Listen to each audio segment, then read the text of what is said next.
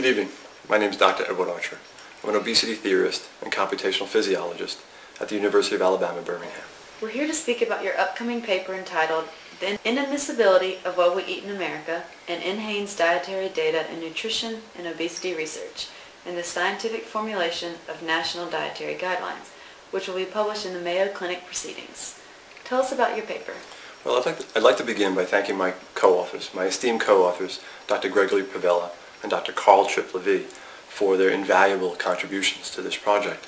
And I'd also like to thank the editors and staff of Mayo Clinic Proceedings. They're a journal that truly cares about science. My colleagues and I wrote this paper because the biggest problem in nutrition and obesity research is a lack of science. We have a large number of individuals with advanced degrees such as MDs and PhDs conducting scientifically incompetent research.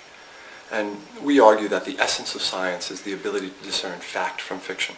And we present evidence from multiple fields to support our position that the data generated from nutrition epidemiologic surveys and questionnaires are not falsifiable. As such, these data are pseudoscientific and inadmissible in scientific research.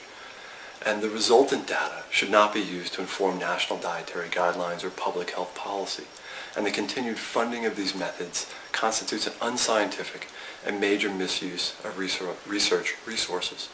But more importantly, the shifting sands of nutrition dietary guidelines have, you know, of sodium, of salt, of fat, of protein, what we should eat.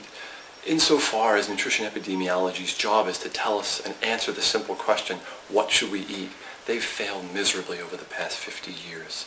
And this has decreased the legitimacy of science to inform our daily lives. You said the methods used in nutritional epidemiology are pseudoscientific. What makes them pseudoscientific? Well, in our paper, we lay out the scientific criteria uh, for any data collection protocol. It has to be publicly accessible.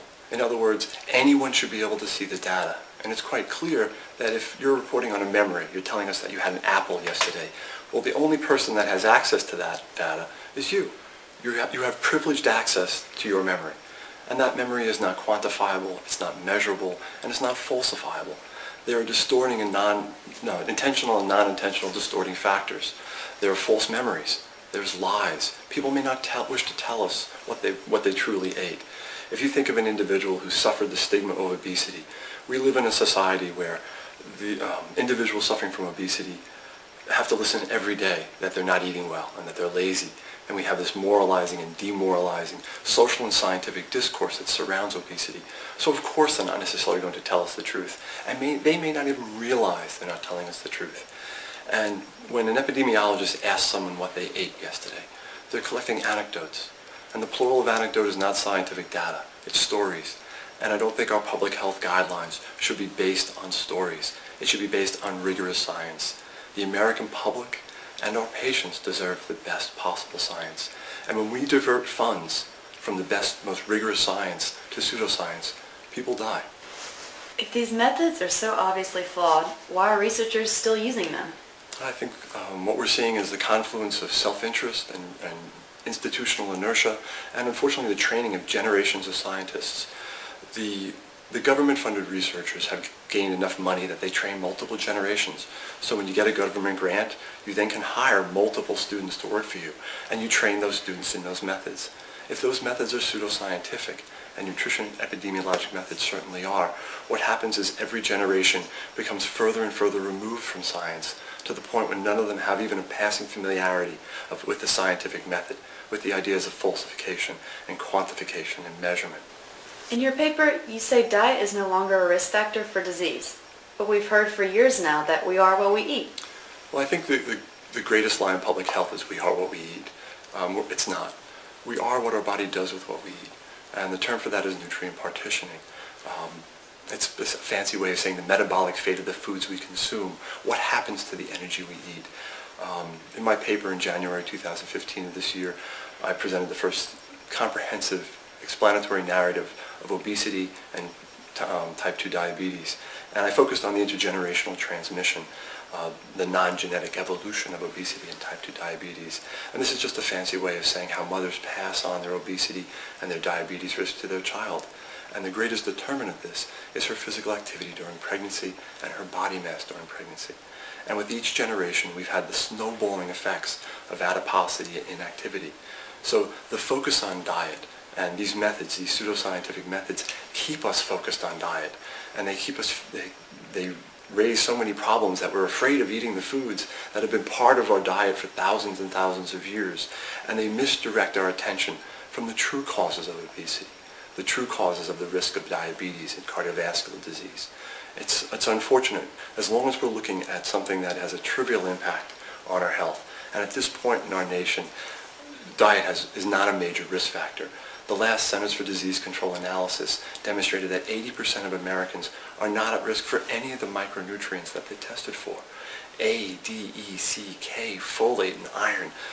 No, 80% of our population are not at risk for these. Yet 95% of our population is not meeting the physical activity guidelines.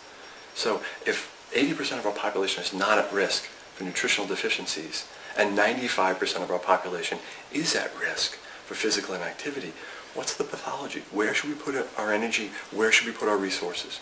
Right now, we spend over $2 billion a year um, studying nutrition and obesity. And in the NIH's list of 250 categories for spending, exercise, cardiorespiratory fitness, and physical activity are not even on that list. So as long as our dietary guidelines are causing fear, they're, they're creating a situation where we're afraid of eating cholesterol and eggs and meat and cheese, things that have been a part of our diet for thousands of years. As long as we're afraid of that, we're not paying attention to what we should be paying attention to. We need to change our lifestyle. And it's not changing what we eat, it's changing what we do. Because how we spend our day determines what our body does with the food we eat. And when you're pregnant, that's even the more important because how you spend your day determines not only your health, but the health of future generations. Is there anything else you'd like to add? Yes, I think um, probably the most important thing to remember is that most of the non-communicable diseases that we're thinking of, uh, obesity, type 2 diabetes, cardiovascular disease, and cancer, all of these begin in utero. So the most important nine months of anyone's life are the nine months before birth. So ultimately, if we are interested in helping the future of the, of the American people, if we're actually truly interested in improving and providing ev evidence, scientific evidence for improving the health, then what we need to do is we need to improve the lives of young women and would-be mothers. We hope you found this presentation from the content of Mayo Clinic Proceedings valuable. Our journal's mission is to promote the best interests of patients by advancing the knowledge and professionalism of the physician community. If you are interested in more information about us, our homepage is www.mayoclinicproceedings.org. There you will find access information for our social media content, such as additional videos on our YouTube channel or journal updates on Facebook. You can also follow us on Twitter. More information about healthcare at Mayo Clinic is available at www.mayoclinic.org. This video content is copyrighted by Mayo Foundation for Medical Education and Research.